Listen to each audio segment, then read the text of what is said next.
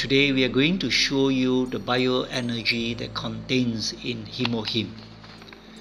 Here are two glasses of water. Now let us turn on the switch. When we place conductors into the glasses, there isn't any visible reaction.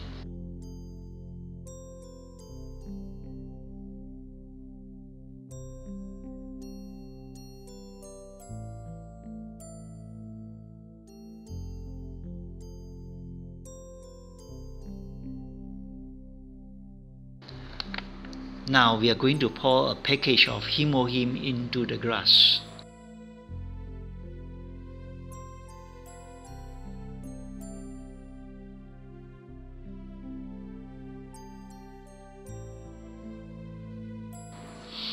When we place the conductors into the grass of water with Hemohim, the bulb is lighted up.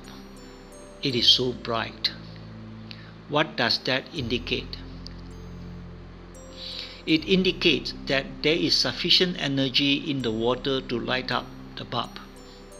If we leave the conductors in the glass until the energy, the current in the water is fully exhausted.